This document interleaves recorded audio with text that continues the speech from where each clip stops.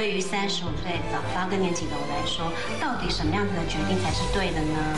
再问问看他们的意见啊，顺便看一下谁的男人来的比较快。离开离开了多久，才剩下的是我？怎么对于三十五岁早发更年期的我来说，到底什么样子的决定才是对的呢？